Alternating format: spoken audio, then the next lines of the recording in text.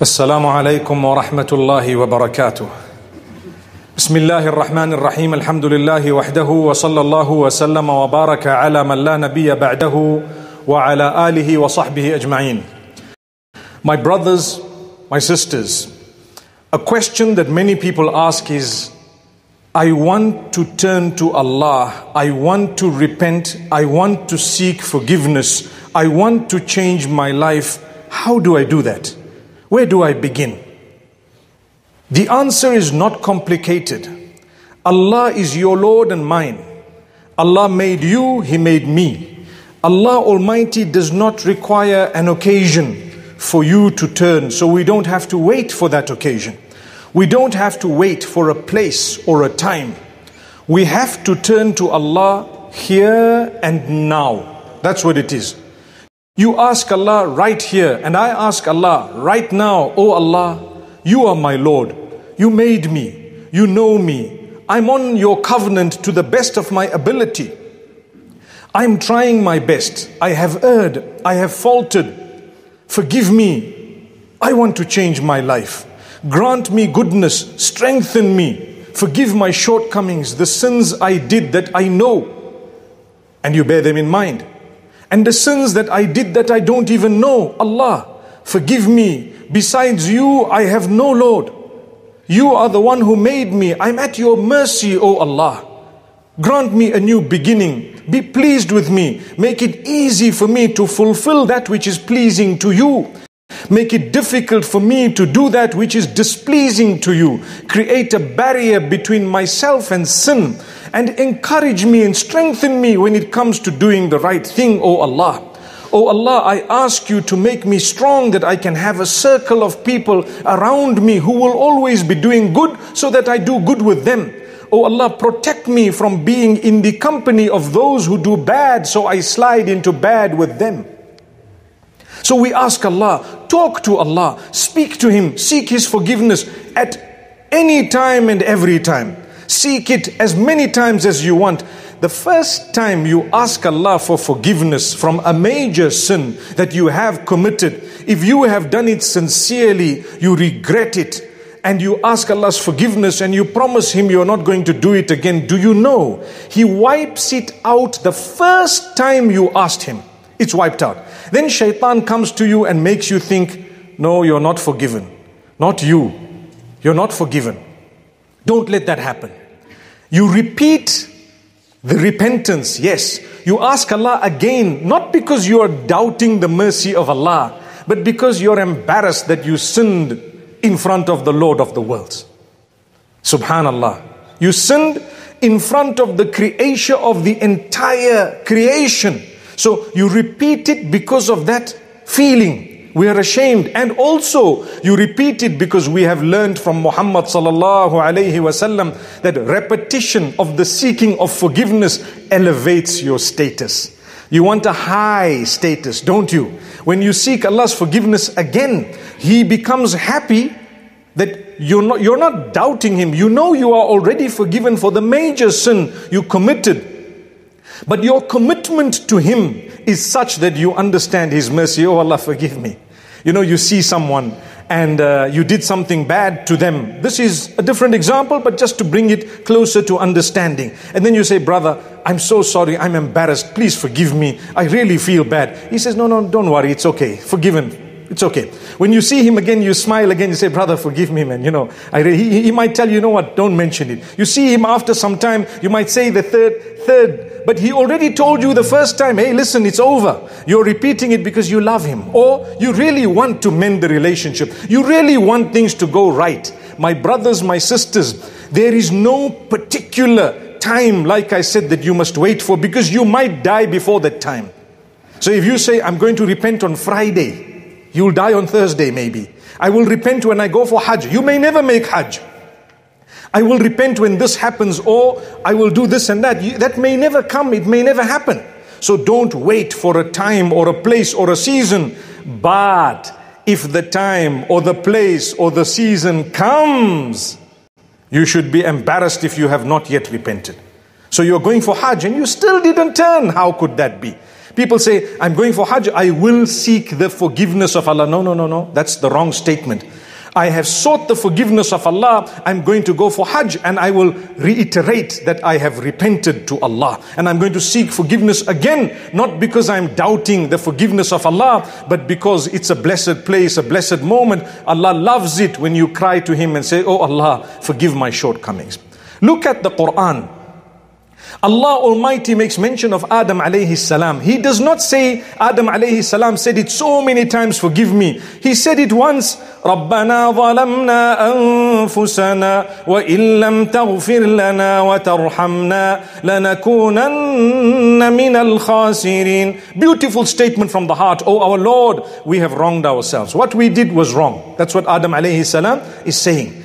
And if you don't have mercy on us and if you don't forgive us, we are the losers. My brothers, my sisters, if Allah doesn't forgive you and I, who is at a loss? The Lord of the worlds or you and I? Subhanallah, I'm at a loss, you're at a loss. So tell Allah, oh Allah, I have no Lord besides you. No one can forgive me but you, oh Allah. And if you have wronged a fellow human being, go and make peace with that person. You have done something wrong. You maybe spoke in a way that hurt their feelings. You might have done whatever. At times people say, you know, when I was little, I pinched this and I did that. I want to make peace. Go and make peace. Don't be embarrassed. Go and make peace. It's better to be feeling that feeling of belittlement in, the, in this world than to feel that feeling later on. I'd rather come to you and say, Brother, I spoke a lot of rubbish about you. Please forgive me because I fear the day I'm going to stand in front of my Lord giving account for my deeds. Forgive me. He may say yes, he may say no. If he says yes, you're sorted. MashaAllah. If he says no, you can do better, inshallah. Masha, you can ask Allah to soften his heart. You can seek forgiveness for yourself, for the brother, whatever else it may be. You can do a lot, but did you try? Did you go and seek forgiveness? Because I tell you on the day of judgment, things we thought were small will be very big, both good and bad. Sometimes you do a good deed that is small. It is so huge in the scale that you will be so impressed and so thankful to Allah, but the opposite is true. Sometimes you say something light and it is so bad in the eyes of Allah. تحسبونه هينا وهو عند الله عظيم. You think that it is something light, but in the eyes of Allah, it is very serious. Especially in this particular verse of the Quran, accusing someone of immorality who is not even immoral accusing someone of infidelity when they, that is not the case. We think, you know what, this guy here, well, he's having an affair with so and so. That statement might have taken you a split second to say. But do you know what? The hadith says if you were to drop it, similar statements, if you were to drop it in droplet form into the ocean, it would change the color of the whole ocean. That's how serious it is in the eyes of Allah. So make peace with people, seek their forgiveness. Don't be embarrassed because you will save yourself the embarrassment of the day of judgment. May Allah Almighty grant us goodness. So, getting back to the question, if someone were to ask, I want to turn to Allah, I want to repent, where do I begin? What do I do? The answer is here and now. Say, Oh Allah, I, I'm ashamed of what I did. Forgive me, grant me goodness, Forgive my shortcomings. I promise you I won't do it again. Strengthen me so that I can fulfill this promise of mine unto you that I won't do it again. Let's listen to something known as Sayyidul Istighfar. The master or the leader of all forms of, or should I say, of all wordings when it comes to seeking the forgiveness of Allah. Allahumma anta rabbi. Oh Allah, you are my Lord. La ilaha illa anta khalaqtani. There is none worthy of worship besides you. You made me. Allah made us. Subhanallah. Where were we before the date of our birth, for example? Wherever Allah wanted us to be. Man is so sophisticated, so complicated, yet without revelation, he would never know where he's going after he dies. He wouldn't know. You need revelation. It's Allah, your maker, the one who made entire creation. La ilaha illa anta khalaqtani, none worthy of worship besides you. You made me. Wa ana abduk, I am your slave. I am your slave. You know, to use the word slave, if it is for mankind, it is derogatory. If it is for Allah, it is an act of worship. Look at the most beloved names unto Allah according to the hadith of the Prophet. ﷺ. He says, Ahabbul Asma'i ilallahi Abdullahi wa Abdul Rahman. The most loved names unto Allah, Abdullah and Abdul Rahman, the slave of Allah and the slave of the most merciful. Slave.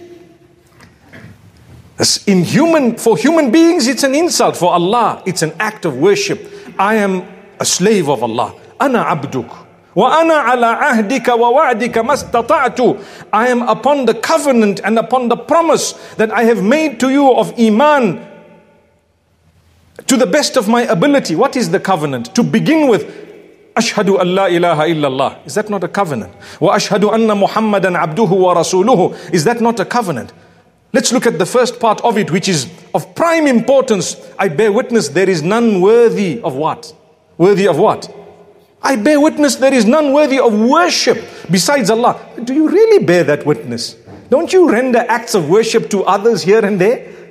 May Allah protect us. It's called shirk. Allah says, that is um, the biggest sin one could commit. So that's the covenant unto Allah. Oh Allah, I will not commit shirk. That's the meaning of Ashhadu Allah ilaha illallah. Oh Allah, I will not worship anyone but you because there is none worthy of any act of worship besides you. That's the meaning. So this is the covenant. وَأَنَا عَلَىٰ عَهْدِكَ وَوَعْدِكَ مَا اسْتَطَعْتُ أعوذ بك من كل شر ما صنعت. I seek refuge in you from all the bad that I have done.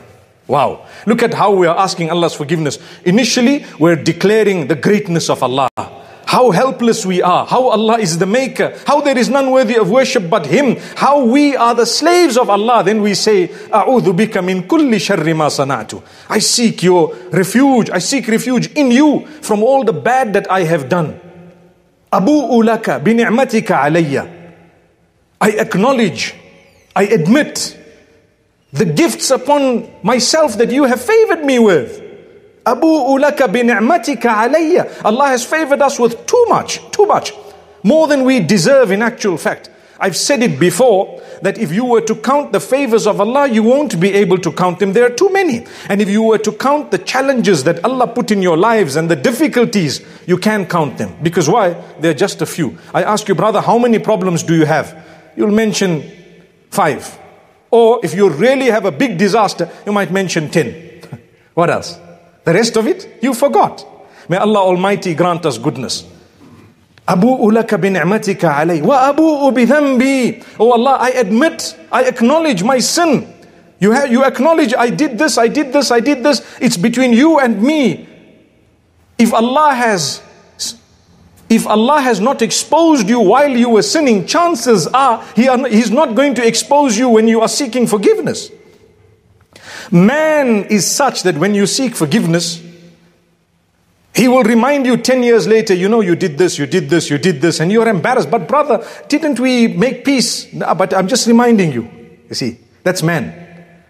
Allah says we wipe it out, we will make the angels forget it, it's no longer in the book. And if you are fortunate and you did a lot of good thereafter, it will be converted into good on the right side of the scale. Like Allah says in the Quran, I'm sure we know that that happens. Converted. يُبَدِّلُ اللَّهُ سَيِّئَاتِهِمْ حَسَنَاتٍ you come on the day of judgment, no even mention of the bad. Because why? The mercy of Allah. Allah says the one who sought forgiveness from a sin is equivalent to the one who did not commit the sin. Allahu Akbar. Imagine the mercy of Allah. So, what are we saying here? Abu'u bidhambi faghfirli. Oh Allah, I admit my sins. So forgive me. Forgive me. فَإِنَّهُ لَا يَغْفِرُ الذُّنُوبَ إِلَّا أَنْتَ Because there is none to forgive the sins besides you, O Allah. That is known as Sayyidul Istighfar. Brothers and sisters, memorize it. Repeat it on a daily basis with a heart. Sometimes we recite from a book, the Arabic, without really knowing what you're exactly saying, but it's powerful. What you're saying, Oh Allah, you are my Lord, I'm your slave. Here I am admitting you made me. And so on. I've wronged myself. Forgive me. I admit, and so on. MashaAllah. That is known as seeking the forgiveness of Allah. I tell you, my brothers and sisters, life is very short. Very short. You know, we used to say, here today, and what about tomorrow? Gone tomorrow. It's no longer like that. Here today, gone later the same day. That's how it is. How many have we heard they're with us and suddenly, whoa, what happened? I don't know, sudden, Allahu Akbar it's going to happen to me, it's going to happen to you. How do you prepare? It's a little bit scary. But when you have Iman, it's not scary. It's reassuring. Oh Allah, take me when you're happy with me.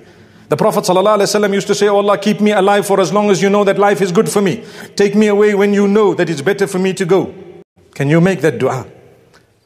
May Allah make it easy for us. What will happen to everything that you leave behind after you're gone? Well, I tell you, better things than those that happened while you were around, perhaps. May Allah grant us goodness. So, my brothers, my sisters, we have no guarantee. Turn to Allah. If you would like to prepare for death, one of the best ways is seek the forgiveness of Allah. And together with that, change your life. You must be strong. And every time you falter, come back. Don't let anyone make you think, you know, you sought forgiveness, you fell. You sought forgiveness, you fell. You sought forgiveness, you fell.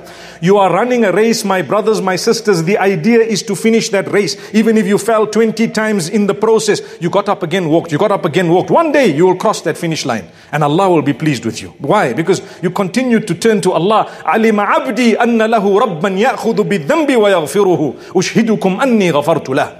According to one narration, Allah Almighty boasting to the angels saying, You see this worshipper of mine con- constantly seeking forgiveness, falling back into it unplanned. Seeking forgiveness, falling back into it unplanned. Seeking forgiveness. I want you to bear witness that he believes he has a Lord who can punish him or forgive him, so I'm forgiving him. That's Allah. The mercy. The mercy of Allah is a topic on its own. May Allah Almighty grant us true forgiveness. May He help us to prepare for the day, the best of days, the day when we meet Him. When we meet Him, may He not embarrass us. May Allah Almighty gather us in Jannatul Firdaus. May He increase the love in our hearts. May Allah Almighty bless every one of us. أقول قولي هذا وصلى الله وسلم وبارك على نبينا محمد